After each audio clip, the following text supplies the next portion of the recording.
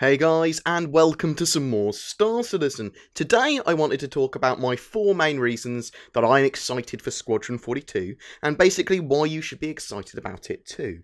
So I'll start off on a slight tangent. What is Squadron 42? Squadron 42 is the single player campaign of Star Citizen. You take the role of a rookie UEE Navy combat pilot in a cinematic single player epic space adventure in the Star Citizen universe. It's an immersive space sim combat first person shooter hybrid created by Chris Roberts, father of the Wing Commander series. It is a AAA game in its own right. It's going to be uh, released in three episodes, which are all going to be fully featured AAA games. And Squadron 42 Episode 1 is planned to come out fully in 2016, so this year. So what makes Squadron 42 worth playing different from other space sims that are already out there? So storyline and lore-wise, the Squadron 42 storyline is set some years before the MMO Persistent Universe Star Citizen game. You play a rookie Navy combat pilot, but Squadron 42 was planned almost to be the spiritual successor of the Wing Commander series, a fully fleshed out first person universe to be experienced by players during a time of war.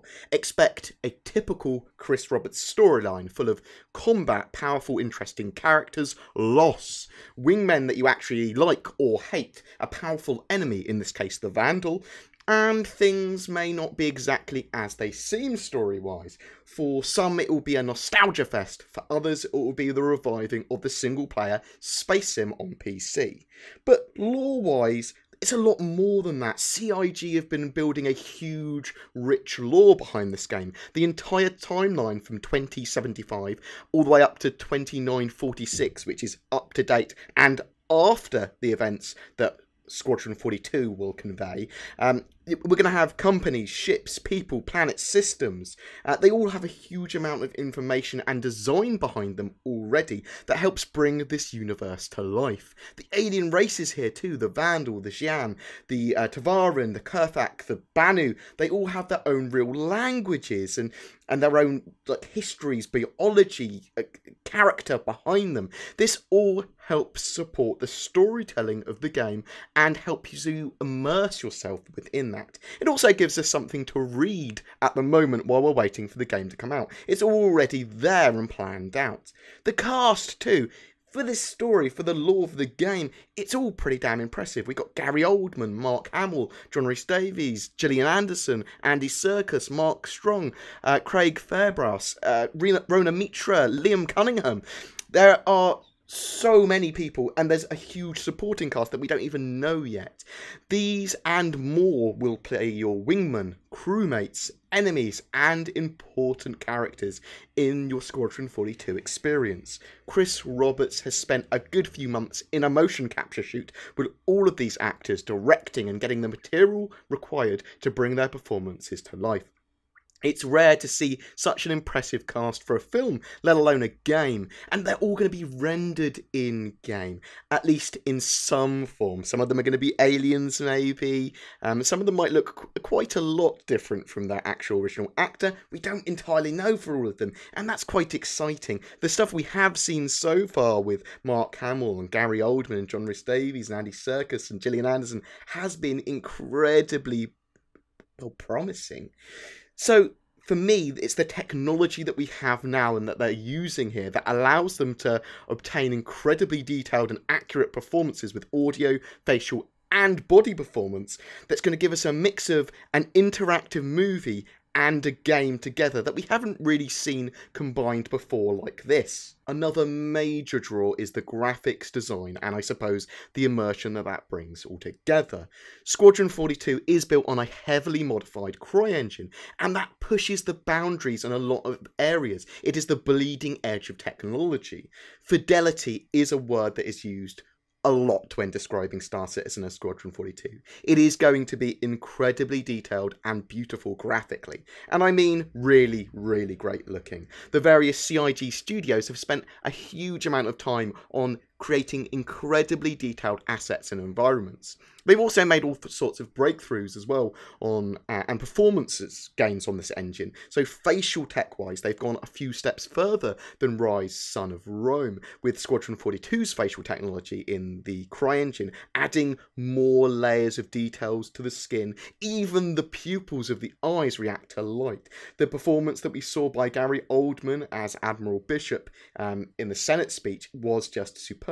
And this is even getting even more love, attention, and polish. This was just the first iteration of it that we saw. The game is a PC exclusive. Now, this is actually quite a good thing, especially for PC gamers. It means the game will be optimized for the PC. It's not a port. It's not being capped at 30 frames a second. It doesn't have to lose features. So it's going to be scalable. We're going to be able to use it at all levels of PC, or at least from medium to top end. And at the top end of PC hardware, where it's going to be fully utilised, you're going to get an amazing experience. And that's what some of us want. The ships as well from that, the Star Citizen ships, they've been given so much time, love, design.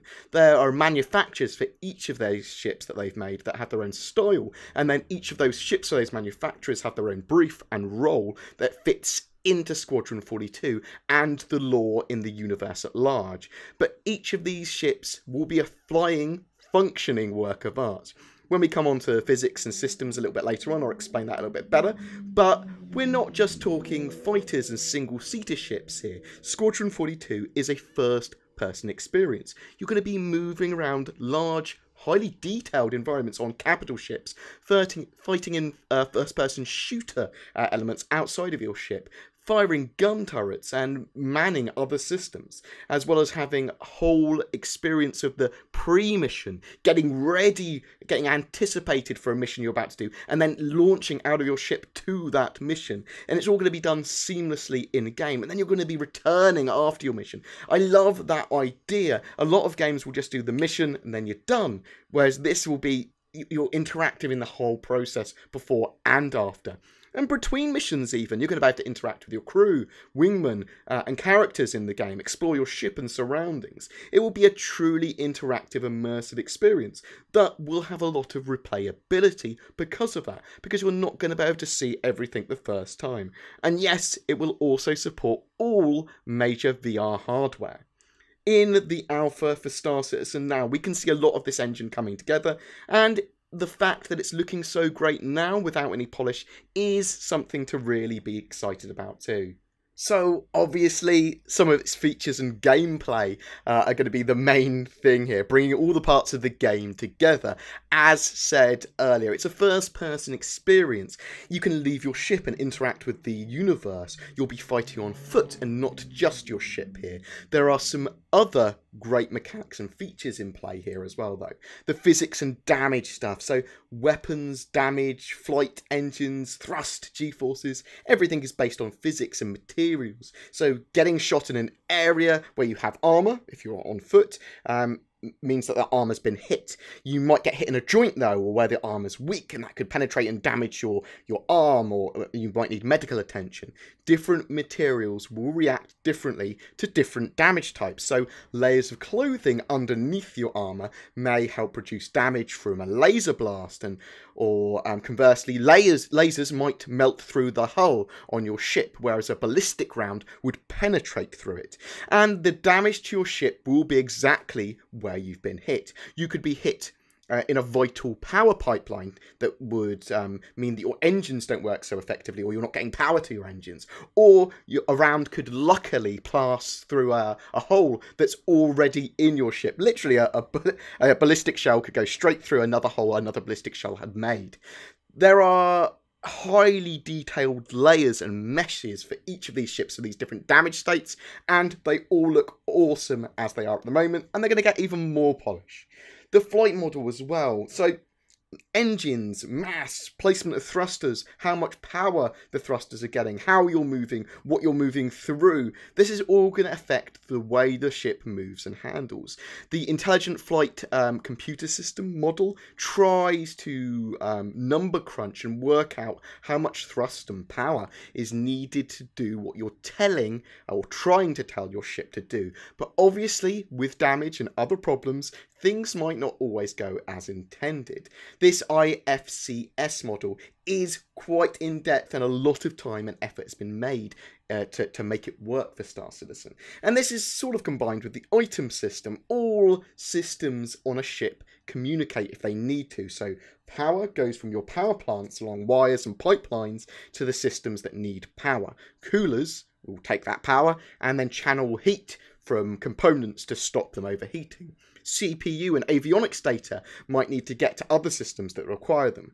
These systems have needs and requirements that during use or combat could get disrupted or require some form of management that all requires a bit of thought to be used, used as a pilot, but the fact that all working together is pretty damn cool. It's a living, breathing system that you might not be able to have much of an effect on if you get hit by an asteroid and it takes out your, your fuel line or something. And EVA as well, I mean, that's another exciting thing. Zero G combat is a cool concept. The fact that you can leave your ship ships are going to about to have gravity generators, so normally on stations or capital-sized ships in Star Citizen and Squadron 42. These can be turned off or destroyed, meaning that we're likely to be fighting in low gravity or zero gravity at some points in the Squadron 42 campaign.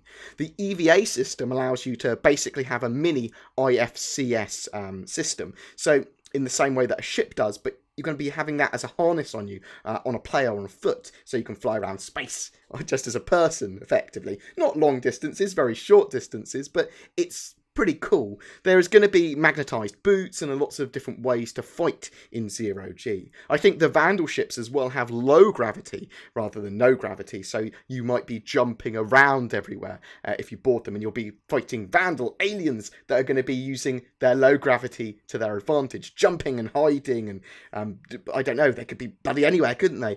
Low and zero gravity brings a new dimension to exploration and combat in this first-person shooter game. And I suppose my last major point is that there's no publishers and the way that they do their open development. Star Citizen and Squadron 42 was an incredibly ambitious project, originally on Kickstarter, trying to revive the PC space sim genre. It's now the most crowd-funded thing of all time, with over $112 million of crowd-funded monies. So what does this really mean for, for the game? Well, being funded by the fans and backers, yes, 100% funded by fans and backers, allows for a variety of perks for game development.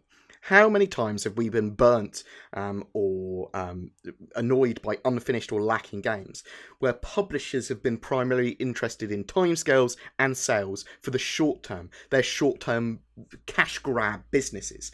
So Squadron 42, however, is only beholden to the backers, the fans, and CIG themselves. There's no strict timescales for the game to be completed. This may seem counterintuitive, but this has allowed them the time to get everything working as intended without having to make drastic cuts, and for the scope of the game to be massively improved and expanded. There's much more money for game development as well. There isn't a publisher taking a cut. The backers are going to get much more drastic a say in the direction of the game and its balance as well. So balance wise, that's more Star Citizen, but the direction of the game and um, some of the way the ships fly and stuff, part of this open development means that we're going to see a lot of the um, ship design mechanics uh, of the game and a huge amount of testing that can be done by players change how the game actually works and plays. Now, for Squadron 42, a lot of that is actually story and assets that will be kept hidden from us. And a lot of that won't be changed. We won't be able to have a direction on because that is the vision of Chris Roberts. That's the story he wants to tell. We're not going to have be able to have that much influence over it. They want the game to be a surprise and at least not spoiled. But with Star Citizen and the Mini PU, we get to test and give feedback, and a huge amount of game concern threads and that sort of stuff will appear and get addressed, from weapon balance to ship design to the lore about the universe. And that does have an effect on that finished game Squadron 42. Lore might change, ships might change, designs of stuff might change, and new features, or at least features might get polished and rebalanced for that game if they're discovered while we're testing it at the moment. And that's one of the things I love about open development. That's why one of the things I love about the way the game's been funded. We, me and you, get to influence the direction of this game. And it's something that I've really wanted for ages.